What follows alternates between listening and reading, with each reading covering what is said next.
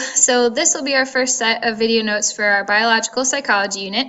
And on the screen, I've put the modules that this unit will be. It's modules 9, 10, 11, 12, and 13. And this video specifically is just over part of module 9. I also put on the screen some other words that you might hear in lieu of biological psychology. And really, all of these words mean the same thing. So if you see these words, you still know we're talking about biological psychology, which is all about what's going on inside of your body during a behavior or during an emotional experience. So this is kind of um, a basic map of everything we're going to be talking about this unit, and we are just today focusing on neurons and neuron structure, and we'll be doing that the next couple days. Um, it's really important that you know what they look like and exactly how they function. So what is a neuron? A neuron is a specific type of nerve cell that really is the basic building block of your brain. Um, it forms all of your memories, it stores all of um, any type of information that we need to process language, emotion, basically all of our biological processes are revolved around a neuron. And you have about 86 billion in your brain, and they are very similar to other cells in that they have a nucleus, a cytoplasm, cell membrane, all those things and hopefully you've covered that in science class before. But what you notice about the neuron, and this is a neuron right here, is that they have kind of a funky shape, um, different than the normal like blob cell that we might have looked at in science class. And so what I want you to do right now is I want you to copy down this picture essentially. I want you to draw your own little neuron on your paper, and we're going to label its parts and talk about what each of these parts are.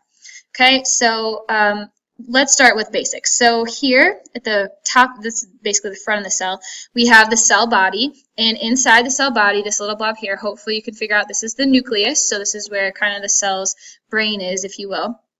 And then neurons have these things called dendrites, which kind of branch off of the cell body. And what the dendrites do is they're in charge of receiving information from other neurons. And so the way neurons communicate is if, like, I stub my toe, for example, there's a neuron down there that realizes I stubbed my toe, that communicates to neurons all the way up my leg, all the way to my brain until I've realized, ouch, I've stubbed my toe. And so it's communication to communication to communication. So the dendrites are specifically the part that receive that information from the previous neuron that says, ouch, you stubbed your toe.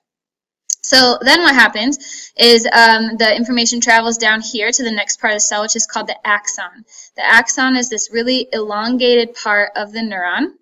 And uh, what this does is it carries information to the back of the cell. And there's a specific way that it does that, does that. So we'll talk about that in a second. The axon is covered by this substance called the myelin sheath, and I realize this is probably cut off on the screen, but the myelin sheath basically has two functions. Uh, the first is that it protects the axon, and the second is that it increases the speed at which the neural impulses travel down the neuron. So the faster that the myelin sheath is, is making the axon, the faster that the information that I stub my toe will reach my brain. Uh, that way I know I stub my toe. And then uh, the last part you need to know are these things called terminal branches. Sometimes they're called terminal buttons or axon terminals. They're all the same thing. These are the, this is the part of the neuron that actually spits out the information to the next neuron. Okay, so information comes into, into this side on the dendrites. It says, ouch, I stubbed my toe. It travels all the way down this neuron. And then the terminal branches kind of spit out that information so the next neuron can pick it up that says, ouch, I stubbed my toe. And then it goes all the way up to my brain at about 200 miles an hour, so very, very fast. So take a few minutes and finish copying this down if you haven't yet.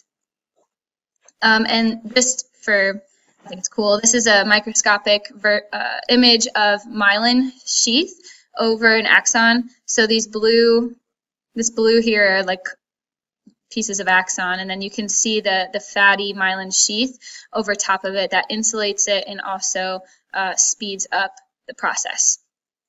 Um, some interesting things about the myelin sheath, if you don't have myelin sheath, uh, that slows down your neural processing so, so much. In fact, uh, multiple sclerosis is, it literally means the degeneration of the myelin sheath, and so um, that is what they struggle with when they have that disease. Uh, the last structure of the neuron that I want you to write down, uh, they're called the nodes of Ranvier. And if you notice on the axon, this axon's kind of, it has little splits in it, little junctures. And if we um, magnify those here, you can see them here. These little splits in the axon are called nodes of Ranvier. And basically, what a node of Ranvier does is, we'll talk about these, this neural impulse here in a second, but what it does is it allows um, more of the ions to come in to keep the, the charge strong throughout the whole neuron. So basically, if the front of my neuron receives information that, ouch, I've stubbed my toe, it doesn't die by the time it gets halfway down this axon. Because of these little junctures, the charge and the information is able to stay strong all the way through this neuron until it splits off into the end out of the terminal branches. And then here's a picture of just a bunch of neurons that have been magnified. Um, I think it's really pretty. Okay, so now that we know the structure of the neurons, we're going to talk about three types of neurons that you need to be familiar with, and those are sensory, motor, and interneurons. And so first we'll start with sensory neurons. Sensory neurons are also known as afferent neurons. You need to be familiar with both names. In fact, you'll probably see afferent more on the AP test than you will sensory. And essentially all these neurons do is they're the ones that take information from your senses to your brain. So the example I used earlier where if I stub my toe, the neurons take that information to my brain, those are sensory neurons because it's coming from my senses. It needs to go to my brain to let me know that I've stubbed my toe. In opposite of sensory neurons, we have motor neurons, and these are also known as efferent neurons. So we have afferent and efferent. And what motor neurons do is they, rather than starting at my toe, they start in the brain and then go to the rest of the body. So let's say I want to walk and get up out of this chair and walk. Those are motor neurons that will do that. I'll start in my brain, the information travels down to my leg, it lets my leg know, hey, pick it up. We got to start walking. So here's an easy mnemonic device for how you can remember sensory is afferent, motor is efferent, is you just write down the word same. So S stands for sensory neurons, A for afferent, so they're the same, and then motor neurons are the M, efferent, same thing, right next to each other. So write down nice and big letters the word same, and you'll never forget if you see motor, or if you see um, afferent or efferent on the test, you'll just write down this word and you'll be able to tell which is which. It'll be super simple. The last type of neuron that you need to know is called interneurons, and these neurons essentially operate between the sensory and motor neurons, and primarily where you find all the interneurons are in your spinal cord. So if I stub my toe, those sensory neurons will carry uh, the information to my spinal cord. My spinal cord, the interneurons will take it from there in my spinal cord all the way up to my brain.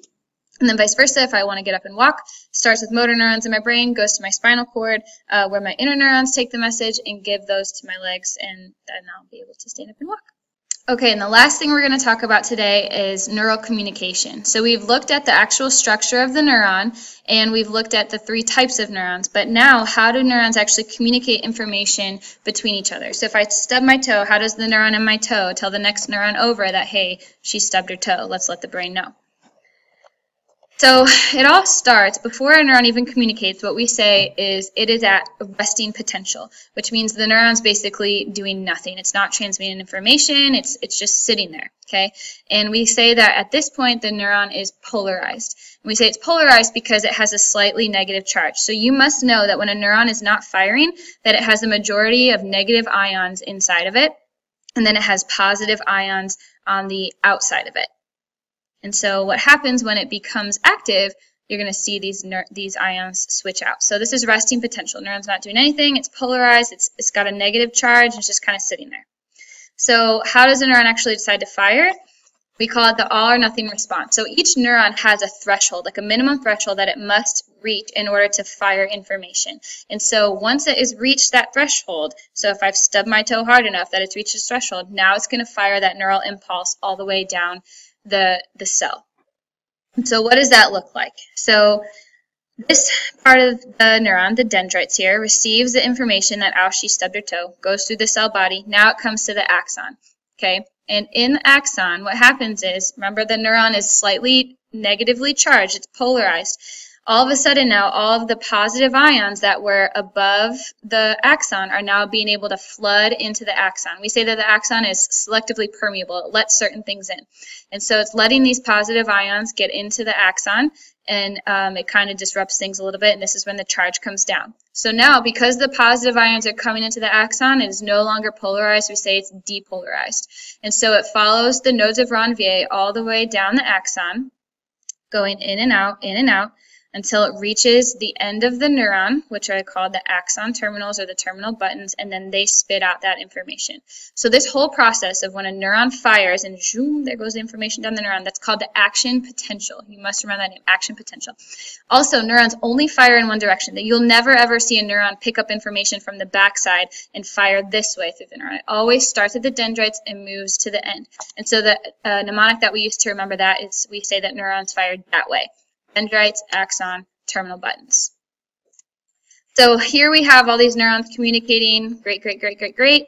But these neurons, even though they look like they're touching, they don't. You, you need to remember that neurons never, ever, ever touch. They always have this little gap in between them, which we call the synapse. So what you're seeing here on this slide is a magnified view of the synapse. So here neurons look like they're touching, but they're not. So here's one single terminal button of, a, of neuron 1. Here's the dendrite of neuron 2. So what happens is as the pulse, the electrical pulse comes down the neuron, there's these little vesicles in the terminal buttons and they carry um, neurotransmitters in them. And those are the chemicals that relay information. We'll look at specifically what those are um, in a few days. But they release those into the synaptic gap or the synaptic space. And what the dendrite or what the dendrite of the second neuron does is they suck in all of those uh, neurotransmitters, that information. And so now it can send it down its cell. Now what happens is, here's another view, whatever is not taken up by the second neuron gets retaken back up into the first neuron. So we call it reuptake. So just to recap one more time, information comes into the dendrites. We've got the action potential going down the axon. It's spit out, the neurotransmitter is spit out into the synaptic gap here. The next neuron picks it up. And whatever the next neuron does not pick up gets taken right back into that first neuron through the process of reuptake. And then finally, after an neuron has fired, it goes through this thing called the refractory period. And the refractory period is kind of a period of rest for the neuron. It's not able to fire during this period. And it's a very, very quick period. I mean, less than less than a second. But it can't it just it fires and then it can't start another firing until the other one is completely done. And it's gone down the whole neuron.